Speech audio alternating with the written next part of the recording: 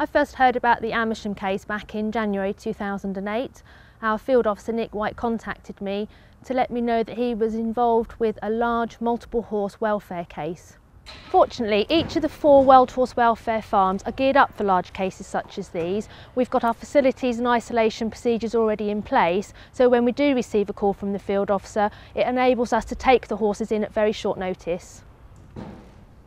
Throughout the day, we'd had regular updates from the field officer, letting us know how the pickup was going.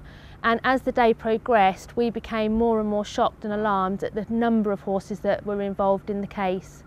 Not only that, regular reports were starting to come through that the horses themselves were in quite horrific conditions and there also were some dead horses on site as well.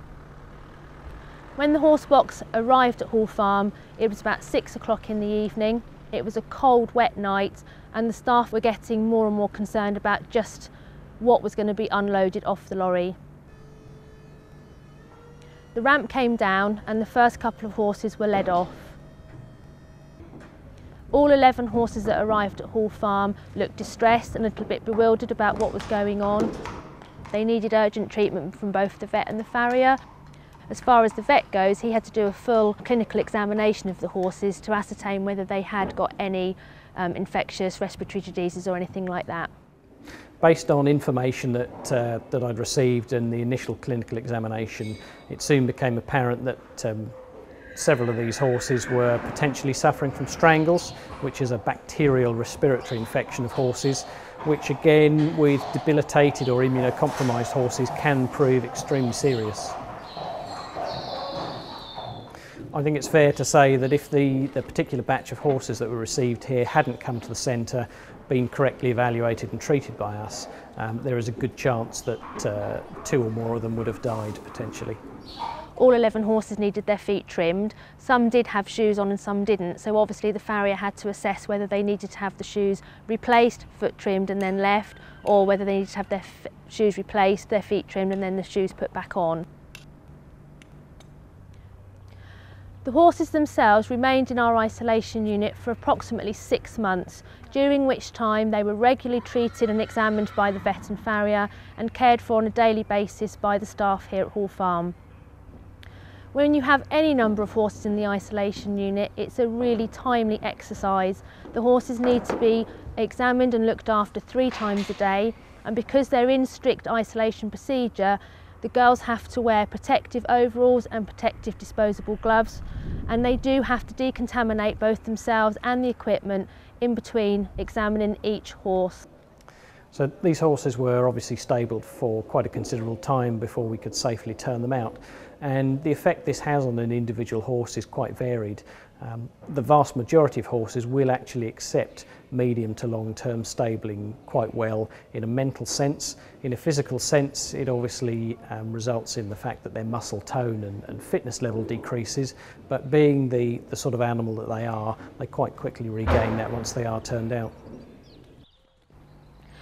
Turning the horses out from the stables into a paddock might seem quite straightforward, but you have to appreciate the horses had been stabled constantly for six months. They were quite, quite fresh, quite on their feet. It took a lot of strength for the girls to pop the head collars on and actually lead them out of the stables. Each of the horses, without exception, were extremely strong leading them down to the paddock. When we did let them go into the paddock, their initial reaction was to go for a really good run round and a buck and a kick. I think personally seeing the horses turned out into the paddock for the first time is one of the best parts of my job. From seeing them how they arrived to how they were when we turned them out into the paddock is amazing. They came off the lorry quite frightened, quite bewildered with what was going on with them and obviously in quite poor bodily condition. To be able to walk away and leave them grazing naturally in the field nice and quietly for me means that we've, we've achieved what we set out to do. We've actually helped those horses and it gives you a really nice warm feeling inside.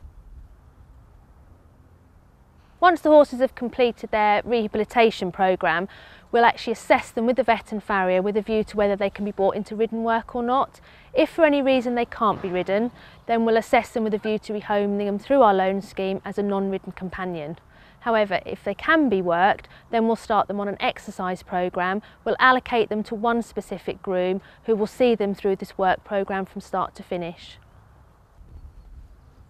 Once the rehabilitation process itself has been completed, it's essential that we start to look for potential loan homes that horses can go to.